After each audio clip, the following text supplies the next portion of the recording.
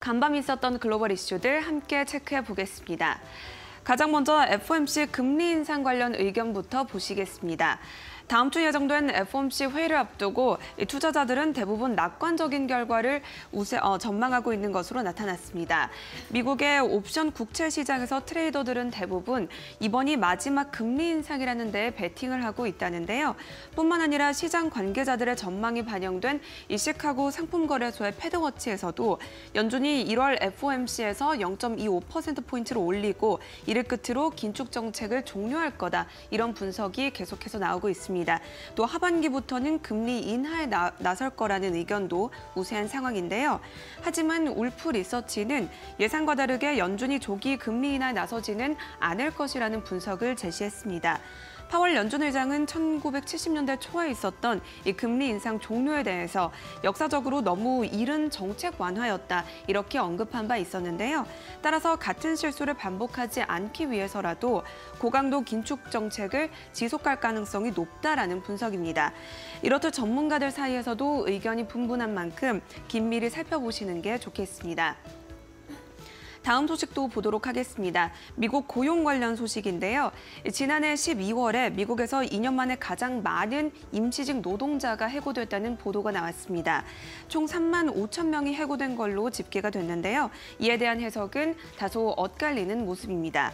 먼저 경기 침체에 대한 경고로 받아들여야 된다는 의견이 있었습니다. 이를 주장하는 전문가들은 고용 시장의 변화를 예고하는 것이라고 지적을 하고 있는데요. 지난 2007년에 임시직 노동자가 감소한 후 1년 뒤에 경기 침체가 시작됐었던 경험을 그 이유로 들고 있습니다. 최근 미국 대기업들이 구조조정을 계속해서 진행을 하고 있는데 임시직 노동자 수를 먼저 줄이고 있다. 이런 분석도 함께 내놓고 있고요. 그런가 하면 호황기였던 1995년 2015년에도 4개월 연속으로 임시직 노동자가 해고된 적이 있었다면서 불황의 전조로 받아들이기에는 이르다는 분석도 있습니다. 최근 기업들이 정규직 채용을 늘렸기 때문에 임시직 노동자 수가 줄어든 것처럼 보이는 착시 효과가 나타나고 있다. 이런 의견인 건데요.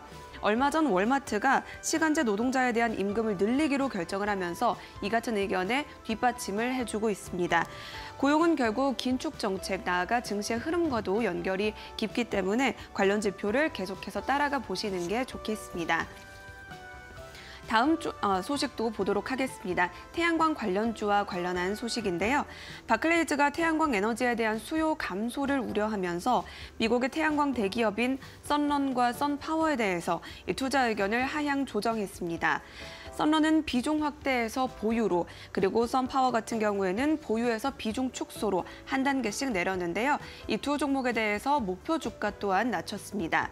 주요 원인으로는 캘리포니아주에서 시행이 결정된 NEM 3.0을 제시했습니다.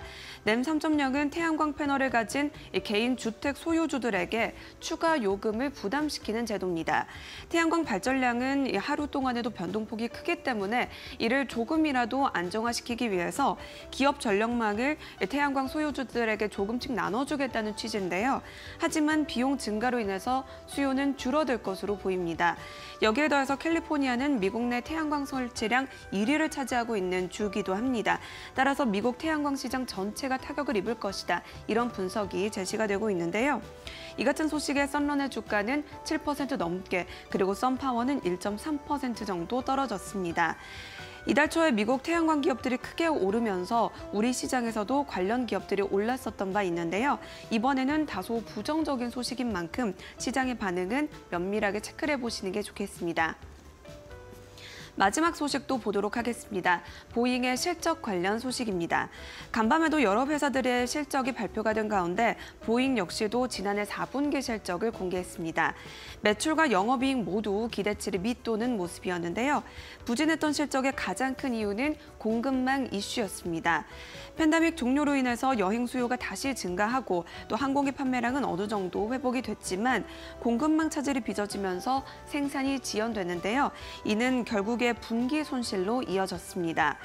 다만 주문량이 늘어나면서 이 4분기에는 30억 달러의 현금 흐름을 창출하기는 했습니다.